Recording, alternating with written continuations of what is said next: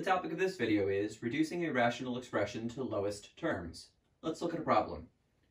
Simplify the rational expression. All right, our numerator is y squared minus 49, and our denominator is 4y squared minus 16y minus 84. Okay, so the first thing we want to acknowledge is that uh, a problem like this is solved using a two-step process.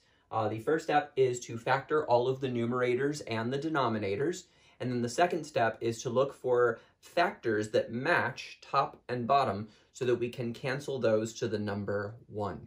Okay, so let's go ahead and begin. Let's start with the factoring part of this problem. And we're going to use our side workspace,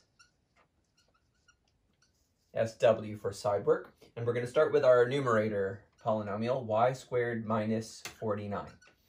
Okay, so let's just briefly review the three steps of factoring. Three steps of factoring are put your terms in descending order, identify and factor out the greatest common factor, also known as the GCF, and then count your terms and use an appropriate method based on the number of terms. Okay, so first, descending order. Well, this is already in descending order. We look at the exponent on the variable, so we've got a 2, and then since there's no y here, that's a 0. 2, 0 is descending, so we're in descending order. Next is the greatest common factor. There is no greatest common factor here. Y squared is a y times y, 49 is a 7 times 7. They have nothing in common. And then the, finally, the third step is to uh, count our terms. So we find that we have two terms here, which means there are three possible factoring methods that we could use. It could be a difference of squares, it could be a difference of cubes, or it could be a sum of cubes, or possibly none of those. Well, in this particular instance, we're dealing with the difference of squares. I know it's a difference because it says subtraction, and my, my clue that this is squares is my first term here. Uh, this little exponent of 2 is telling me that. In fact, if I pronounce this out loud, I would get y squared. It happens that 49 is also a perfect square. 49 is the result of squaring 7. 7 times 7 is 49. So you could think of this as y squared minus 7 squared, and that's why it's a difference of squares. All right, now we're ready to factor. To factor a difference of squares, you take the square root of both of these things, and you write them side by side.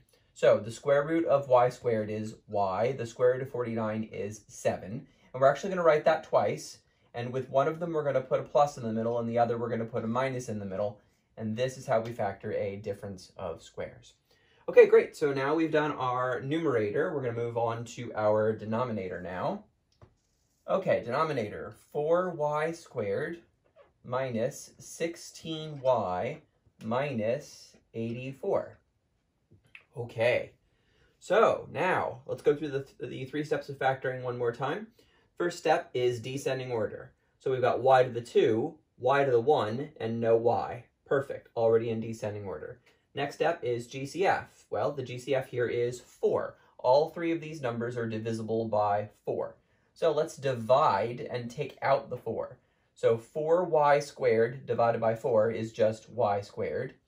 Negative 16y divided by 4 makes negative 4y, and negative 84 divided by 4 makes negative 21.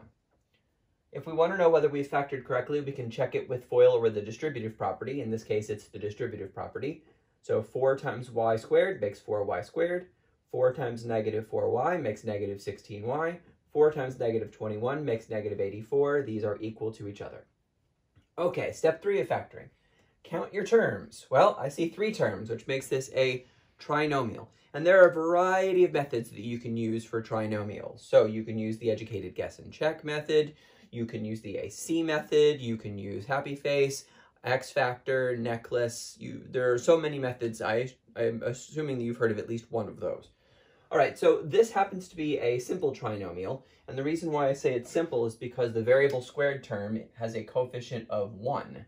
And when that's the case, factoring is actually pretty easy. You just have to come up with two numbers that multiply to make the end, negative 21, but add to make the middle number, negative 4. Well, those numbers would be negative 7 and positive 3. And factoring that trinomial is actually pretty easy. You just have to put a y in front of both of those things, and you'll have your factors. Don't forget to bring down your GCF. Your 4 has to come alongside your final answer. Okay, great. So now that we've done both of these factoring steps, we're ready to come back to where we were. And we're going to now replace each numerator and denominator with the factored versions that we found. So, for example, up top, we're going to write y plus 7, y minus 7. Down below, we're going to write the 4 times the y minus 7 times the y plus 3. Okay, so now we're ready to do step two. Step two is to look for factors that match top and bottom and cancel those factors. Well, I see a y plus 7 up top and a y minus 7 down below. So I just have to verify that they're factors, and if they are, I can cancel them. Factors are things that are being multiplied, not added or subtracted. Well, this y minus 7 is multiplying by the y plus 7, so this is a factor. This y minus 7 is multiplying by both the 4 and the y plus 3, so this is a factor. And because they match, we cancel them to the number 1.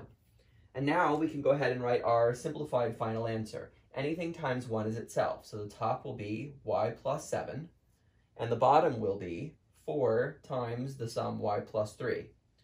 Notice that the denominator has parentheses here where the numerator does not. Why? Well, because the denominator factor has a multiplying neighbor, this 4, whereas the numerator factor does not. Now, the most common mistake that students make with a problem like this is that they try to now cancel this y with this y, but that can't be done, and the reason why is because those y's are not factors. Remember, factors are things that are being multiplied, not added or subtracted. This y is clearly being added, and this y is clearly being added, and for that reason, these y's cannot be canceled. That makes this our final answer.